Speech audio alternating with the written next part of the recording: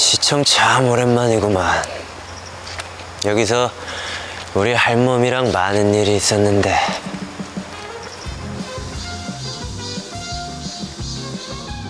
아씨! 아우 깜짝이야. 아, 미안해.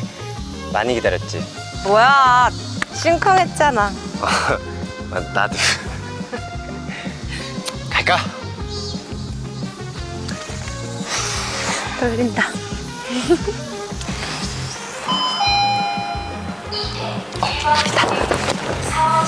무엇을 도와드릴까요? 혼인신고 하려고요. 네, 이 서류 작성해 주시면 되겠습니다. 네, 근데 증인은 같이 안 오셨을까요?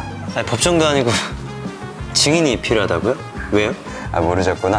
혼인신고 하실 때는 증인이 두 분이 필요합니다. 예, 같이 못 오실 경우에는 서류에 사인을 먼저 받아 오시거나 아니면 도장을 미리 찍어 와 주셔야 됩니다. 헐, 자기 이거 몰랐어?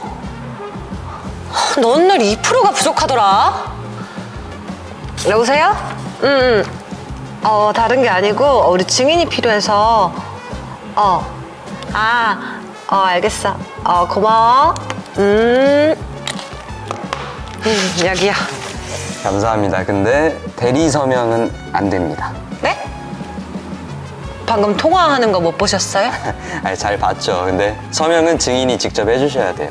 아니 그럼 아까 말씀해 주셨어야죠 우리가 앞에서 사람 찾고 전화하고 이거 쓰는 것까지 다 보셨잖아요 사람 똥개 연락시키는 것도 아니고 저 장난 아, 그럼 여기 주무관님 불러주세요 그래서 그분이 저희의 사촌의 형부시거든요 그냥 해주실 거예요 왜 이렇게 아니 진상같이. 뭐?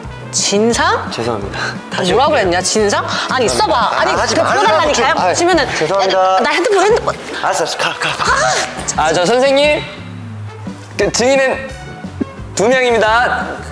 두, 두, 두 명.